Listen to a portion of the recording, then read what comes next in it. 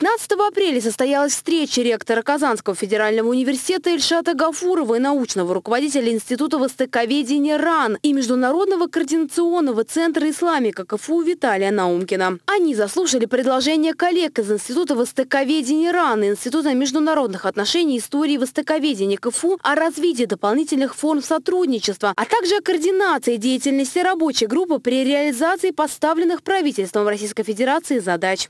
Тотальный диктант в Казани написали на 22 площадках. В Казанском федеральном университете собралось порядка 500 участников от школьников до пенсионеров. В качестве диктатора в актовом зале Института филологии и межкультурной коммуникации имени Льва Толстого КФУ выступила вице-премьер Татарстана Лейла Фазлеева. Автором текста в этом году стала татарстанская писательница Гузель Яхина. 17 апреля в шоуруме Высшей школы журналистики и медиакоммуникации КФУ состоится уникальный телемост Казанский федеральный университет Международная космическая станция. Студенты и сотрудники университета, а также журналисты и школьники Международного детского центра «Артек» смогут пообщаться с космонавтами экипажа российского сегмента Международной космической станции. 15 апреля в Казанском федеральном университете прошел шестой весенний бал. В этом году он был посвящен 40-летнему юбилею Института вычислительной математики и информационных технологий КФУ. На балу все участники погрузились в атмосферу 19 века. Помимо танцев у участников была и насыщенная культурная программа.